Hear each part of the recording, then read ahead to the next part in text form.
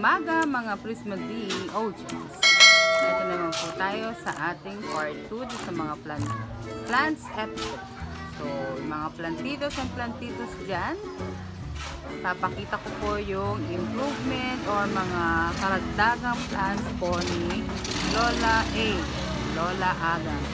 Actually, kaya po pinafocus ko ito dito. Ito yung pinaka gustong gusto ko nakikita. Every day, habang uh, mag-open po ako ng store, nakikita ko pala to gumaganda ng araw ko. So, ang, ang ganda-ganda nga po naman, no? Yan. See? Mas marami po mga plants ngayon.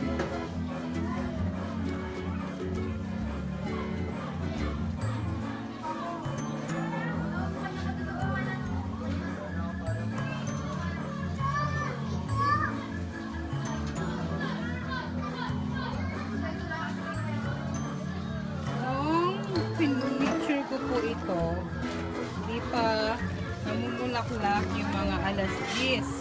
Kasi usually 10 o'clock doon po sila namumulaklak. Ngayon, ah, it's almost 10.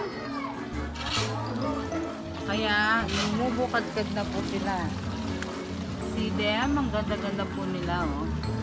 Kaya yung mga medyo stress dyan sa kanilang mga love life or even with other issues, try nyo po kaya magtanim para at least mawala po ang inyong mga stress. Ah.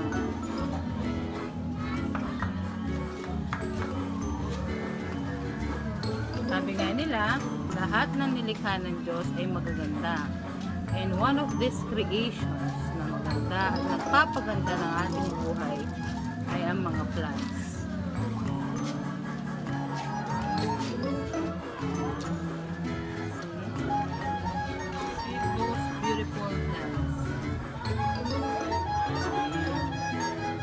Na po akong tanungin kung ano ang mga pangalan nila kasi hindi ko rin po sila alam.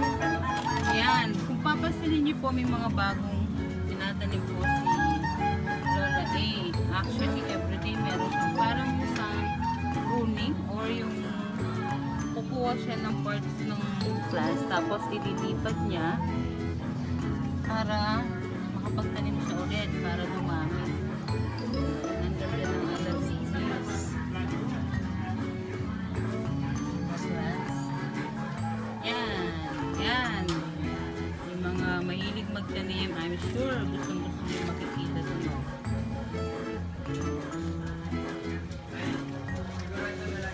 love of month, hindi pa huli ang lahat.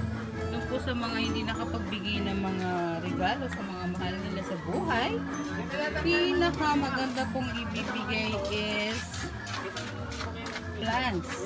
Kasi po, this is a sign of life. Yan, papaya po yata. Tapos may mga sili. Namin pong humihingi ng halaman kay Lola A.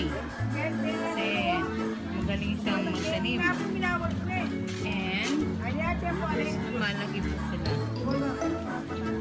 Yan. So, um, ito po yung sabi sa mga gusto kong mga halaman niya, yung alas 10. No? Medyo maingay nga lang kasi may music sa kabilang bahay. Pero, okay lang yan. Ang importante, ang nakikita yung view. So, voice over po tayo. Today ulit, if last time is mukbang, ngayon naman is we need to appreciate again yung mga different plants. So, another glance. Is to inspire you again na ang sarap po ng feeling kapag ikaw ay nagtatanim at nakakakita ng mga plants. Yan, para pag para kung gusto nyo gumanda ang inyong araw, yung buhay, ang mas gumanda pa ito, try po natin magtanim. Ako, ang ganting na lang ako kasi sabi nga nila may mga tip of tongue. Tip of tongue. Tongue. So with that, yun lang po. Gusto ko lang i-highlight ulit yung ating mga plants, mga plants po ni Lola Agang para inspire those plantitas and plantitas to continue yung kanilang hobby ng pagtatanim. With that, thank you very much. God bless us all. Kindly subscribe, like, share the Prisma D channel and also the Decada channel of my sister, Teresa. Lang po.